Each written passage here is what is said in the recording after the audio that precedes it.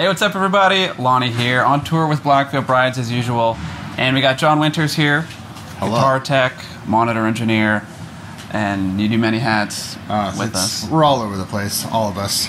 Yeah, that's right. So, anyways, today we're at the Belasco Theater in Los Angeles, and we've done a bass guitar rig rundown in the past for my rig, but today we're going to go in a little more detail. John's going to walk us through uh, the electric guitars, monitor rig, violin, acoustic guitar, just all the extra behind the scenes stuff.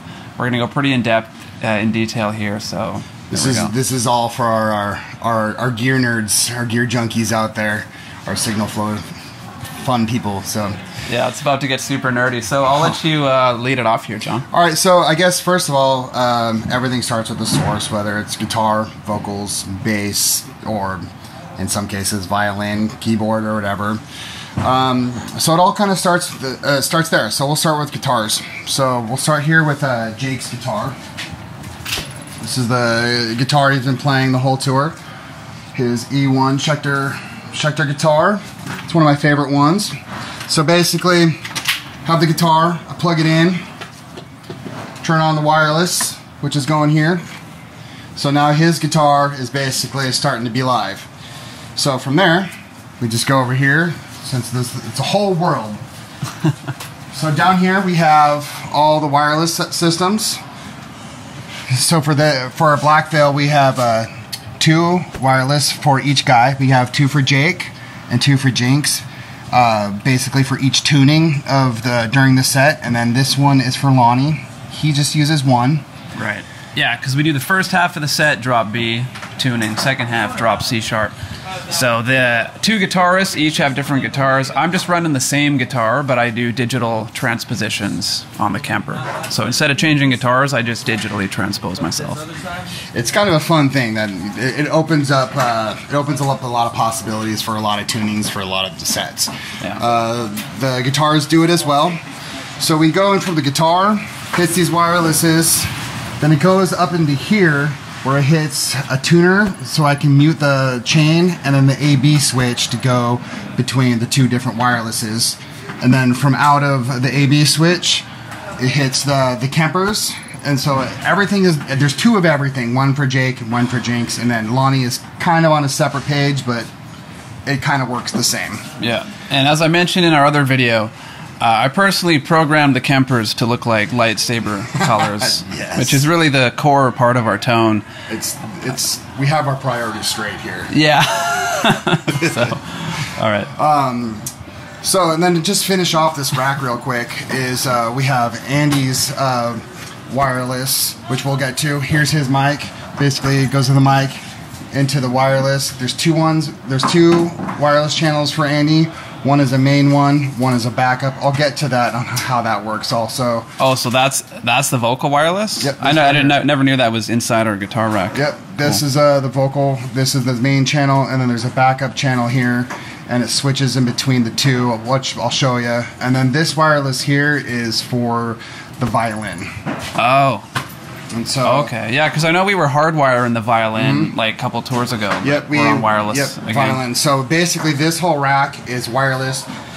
Is from instruments coming to the rack and then to what ends up at the console. So everything is coming from stage to this rack in if you, the direction of things, if that makes any sense. Yeah, all the tones come from here. And funny enough, we're not even doing violin on this tour. Right. But we're ready to go if Yeah. we ever did. Well, the violin might pop up here pretty soon. You never know. It's just you never know what's going to happen here. yeah. But do you know something that I don't know? Or Well, take a look at today's set list. are we doing it? The violin tonight? That's happening. What? Which song are we doing? Savior two tonight. Oh, is there violin in that? Yeah. Wow, shows how much I know. yeah, it's, it's real brief. yeah, there is. Okay. Um, cool. Well, I'm excited. So yeah, guitar goes into goes into the wireless, which goes into the AB switch, which goes into the Kempers, and from the Kempers it goes into the console, splits out, and then goes on from there. But I'll, I'll explain that. I'm gonna set this down. Cool. So here, why don't we show Jinx's guitar while we're at it too? So Jinx has that was the Jake Pitts uh, signature Schecter, and this would be the uh, Jinx, the other guitarist in the band. Yeah, this is his- BC Rich. B guitar. Here, I'll come into the light. He's kind of got two different ones going on. This is his B guitar. And he just switched over to BC Rich a couple years ago. I know he was with BC Rich 10 years ago, then he switched to Schecter, now he's back with BC Rich. And then he has his custom guitar, which there's going to be more of them coming out here pretty soon. But this is an older one that he's kind of bringing back, but he's got, getting a whole nother new model made of these ones uh, within the next soonish, I guess. Pretty sweet too. I like the we got the band logo. Yeah, this one's On the his inlays. custom. This is his custom one. Nice. This one's super cool too. little Floyd action. Oh, yep. And this is Lonny's PRS bass here that he's been playing the whole tour. And then Yeah. what, what we were talking about with the transpositions, he does uh, a couple of uh, tr- the Kemper transposes what this tuning is to a couple other tunings. Yeah, so the bass is in drop C sharp, but for the drop B songs, I just do a negative two on the Kemper. And there's a couple in drop A, so we bring it down two whole steps, and there's one in drop A sharp. So we're transposing all over the place, but I mean, the digital transpose just works so good, so we- we're able to do it all on one bass. And I'll talk about these pickups quickly. So we just put these in. These are the active uh, EMG pickups, and I ordered them in white because I thought that would look cool, and it actually looked kind of dumb. So we painted them black, but Oh, that is that where that's going on? yeah, but the paint is kind of fading off because of my picking, so that's what that is. But yeah, the white pickups were a, a huge mistake, but I, I do like the way they sound, so Oh yeah, it sounds gnarly. yeah. So there we go. So okay, what sound is being made, uh, let's go to the other side of this rack.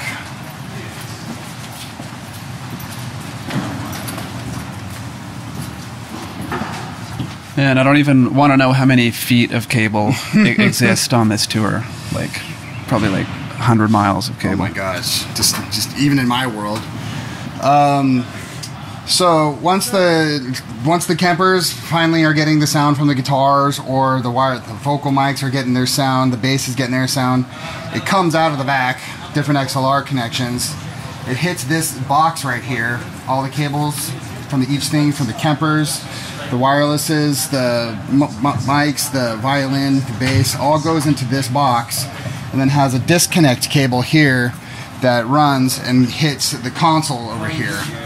So all of this, all of this is the consoles, which these are all the inputs into all the consoles, and here is built an analog split that actually goes in to the monitor desk, which I control, and The old analog split yeah, never fails. it's- It splits off, and then it goes inside there to the um, to the front of house desk, and then there's a long Cat six cable that goes from here and connects to the console at front of house. So that's how it all talks to each other. Nice. um, so this is beyond my knowledge. so if, if you're lost, I'm with you. And that's fine. Right. Uh, I know the Kempers and the guitars, but this is beyond my world here. And then so and then so here this green one, these are basically just multi-mass disconnects of uh, 12 channels at a time. So here's 12 channels of the drums. Here's another 12 channels of the drums. Here's guitars and vocals. And this is all the downstage stuff, which is uh, the backup vocal mics, uh, the keyboards, and the acoustic guitar. And it all, and then all this stuff is uh, computer tracks with the cinematics, strings, uh, impacts, um, and uh, click tracks for tempo, so everybody can stay on the same page. Yeah. Wow. So much goes into it. So to review, we got the the guitar into the digital Kemper amps into this, which runs into this, which is the the monitor console, Which is right? the monitor console, What is it? The. X32 or something? No, this is the Allen and Heath D oh. Oh, I was way off. this is a little a little bit of a jump up from that. Not not not ditching on the X32, but this is just a little bit of a jump. I'll, I'll let you keep going. Is that was that what we were going to talk about next? It's all just kind of a part of it.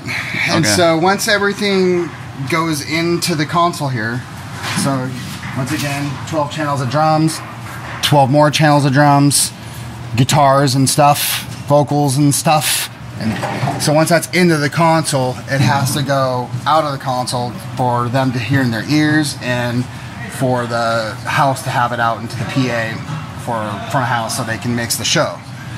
Um, so let's go back to the front.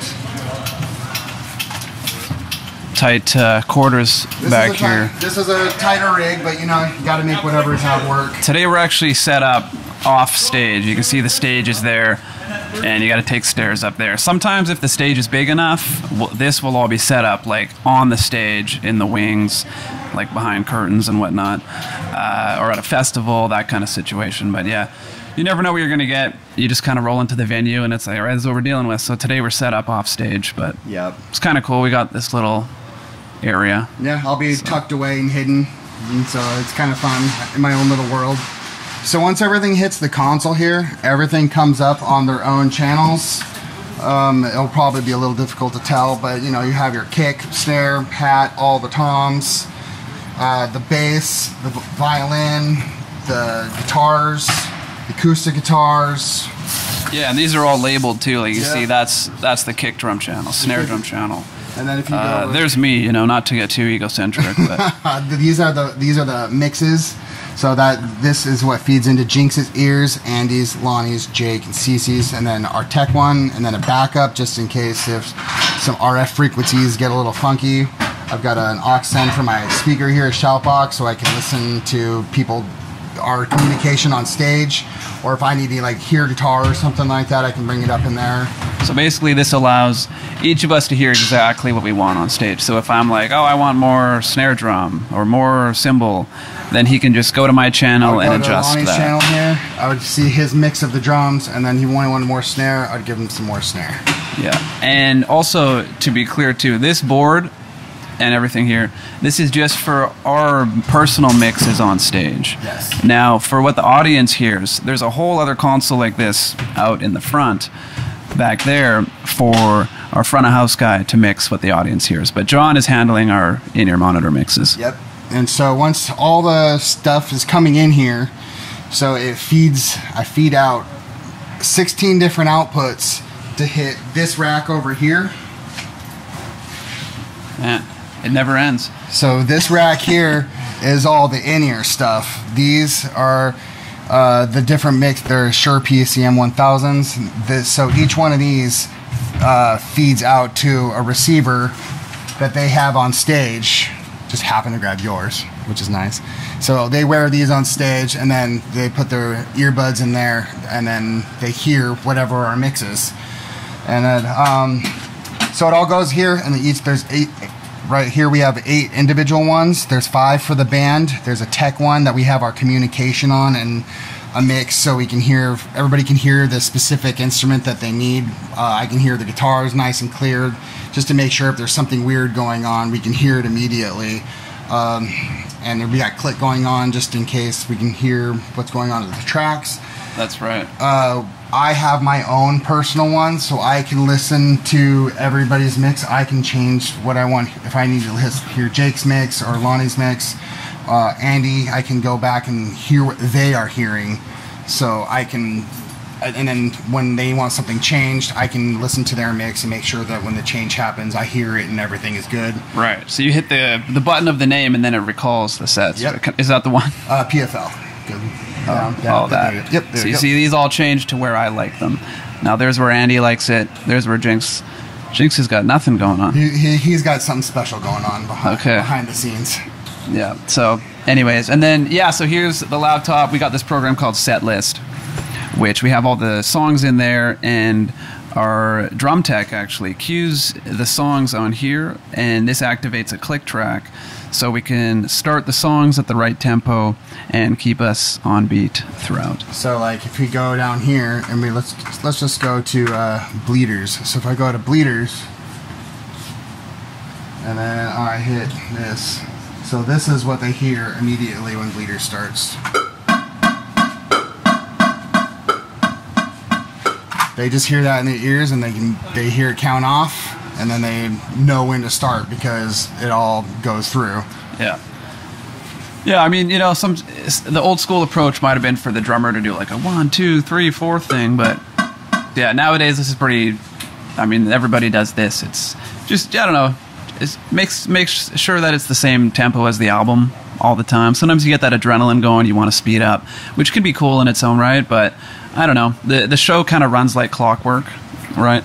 And all of the guitar tones as well change automatically through MIDI, synced up to this click track, too. It's, it's a very So, cool thing. There's a timeline for each song, Yeah. and so So, like 10 bars in or whatever, when the pre chorus hits or something, the Kempers will automatically switch to whatever tone is needed there. It could activate delays, could activate distortion or a solo boost, whatever it is, all synced up uh, to that. So, it's pretty, pretty convenient, actually. Yeah, so you can. I even have like a test one where I'm, I like to make sure that the computer is working with the Kemper to make sure it's changing. So I go to this patch check, I hit play, and then if you come over to the Kempers here, you'll start seeing them change to different patches just to make sure that I know it's working.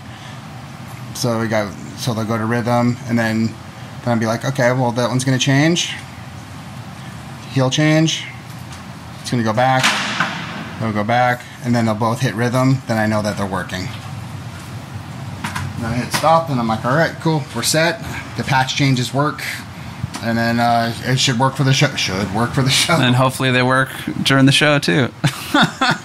and that's just a simple MIDI cable coming out of uh, the uh, interface for the for all the for all the dot for Ableton to work. So it's just coming out of MIDI outputs into the Kemper with different program numbers, and it changes, and it it's really a really cool thing. And it keeps it consistent every time.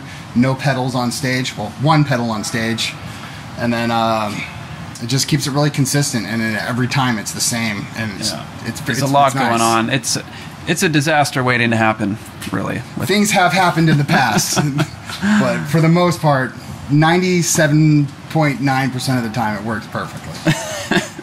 the other 3.1% is a lot of danger. Are you waiting for us? Oh, okay. So, Yeah. Feel free to hang out. I just I wasn't sure if you were trying to tell us something.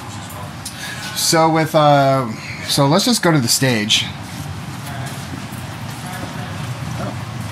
Oh, they took away the stairs. By the way, let's get a shot of the theater while we're at it here. Not too bad. The Belasco Theater.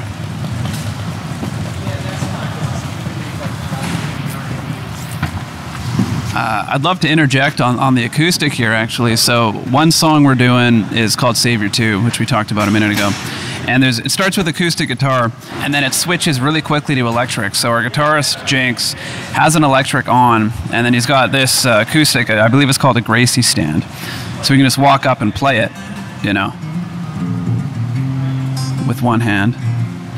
And then uh, just step away and resume to the electric part. So this is literally only used for the beginning of that one song, and uh, yeah, that's kind of cool. So I'll let you So yeah, jump in. As we were um, looking at the back of the console, we saw those big multi pins, and so that lives up here. So here's the other side of it.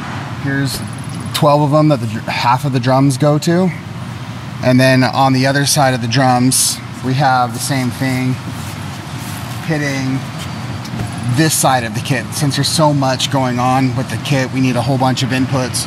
And so those are the two multi connects uh, that go to the console. And then the green one was the guitars and stuff like that. And then the third one is down here. All right, this would be the fourth one, I guess. And that one gets the background vocals, uh, the keyboards connected into it, and the acoustic guitar kit connects into it. And so that's how everything. That's how everything on the stage connects. So we call these snakes, right? Yeah, these, it? are- these would be Basically, like a it multi-connected. just helps to transport those uh, inputs all the way out here. Yeah, it's just or outputs. It's just, they're basically twelve long XLR cables, but just all nicely connected and just you know multi-pin snakes. Yeah. So that's that's. How long does it take to uh, set all this up every day? Uh, it takes about takes about two hours Nice. ish. I'm sure you got a pretty good rhythm. Yeah. I'm usually sleeping at when this is being set up, so I wouldn't you know. know, it's it, it, it takes about two hours, sometimes a little bit longer. Sometimes it kind of depends on the push and and how long it takes for the the truck to get unloaded and Right. and how well the people handle it. Most of the time, people handle it pretty good, but uh, And there's local stagehands at each venue that help unload all this from the trucks because all these get transported in giant road cases. A lot of road cases, So yeah. uh, these will get brought out of the trucks, put into the areas, and then John is uh, you know leading the, the setup I, I lead. I basically lead uh, the audio package and the guitar package that we were just looking at. Uh, Max, our lighting engineer, our lighting designer, he does the stage and kind of with that, and our drum tech, they do a lot of the staging stuff to put it all the stage together. Yeah. Um, I'm kind of on my own little paths of getting things kind of set off to the side. Oh, another thing I wanted to mention with all the wireless stuff, since we do use so much wireless stuff, we every day I have to set up all these paddles for all the wireless. Oh yeah, I've always wondered what those were. So this right here is the antenna for all the ears. So this is uh, spitting out into the ears from uh, from the PSM 1000s we looked at earlier. Then this is the antenna for uh, uh, the vocal mics. And then this is the antenna for all the guitars. Wow. And so these are always have to be chilling on stage. I try to keep them. This today's a little different on stage because we're tucked away in that little nook. I usually kind of just have it close to my world, but I didn't want to have them down hidden in there. I wanted them out and about so I can have a little bit more free, open space for everything to. Yeah, but I also want to point out our most important piece of gear, other than the lightsaber colors. We got these confetti cannons today, so that's pretty cool. It's going to be like a Super Bowl victory during the encore. and then, so the only pedal on stage is uh, the Kemper remote, which we're using for me. Because my stuff actually isn't going through MIDI, so it doesn't change automatically. So for my transpositions, uh, I just hit these buttons. We have it all programmed. So actually, I'll direct you back here. So you can see it's all labeled. So uh, the bass is tuned to C sharp. We hit this negative two to go down two to bring it into drop B. And then we stack these transpositions on top. So for like Blackbird, we'll hit that. Or for Savior 2, same thing. This is a negative one. This is a negative two. And that's actually a plus one. And these all get stacked onto that transpose. Now, to- tonally, it's the same tone the whole time, but this is what we do for the uh, transpositions, and then it's got a built-in tuner as well.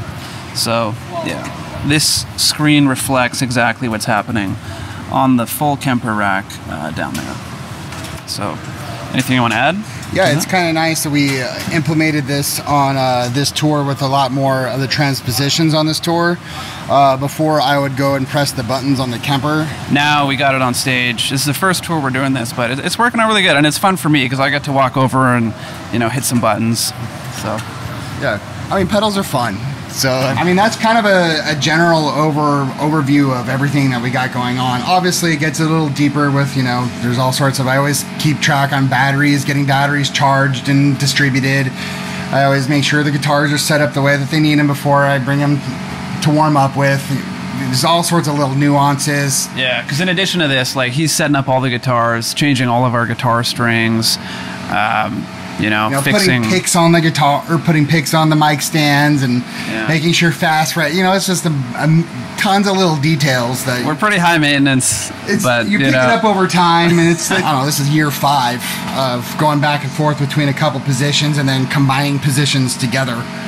Um, this has Yeah. kind of been my favorite setup so far. It's a little bit bigger, but it's the most cohesive. it's always evolving. I mean, you've probably done what, like 200 shows with us, or I don't Probably even know. getting pretty close. I mean, Something at this like point, that. yeah, Many shows. It's always a growing thing. yeah. It's but, definitely uh, evolved since the first the first run. It's pretty impressive, and like the more lost I get hearing you talk about it, the better I know it is. So, hey, thanks for showing us this, John. Of course, Uh, always appreciate your help. Of course. on the Happy road. here. So, yeah, here's uh, here's to a good show tonight.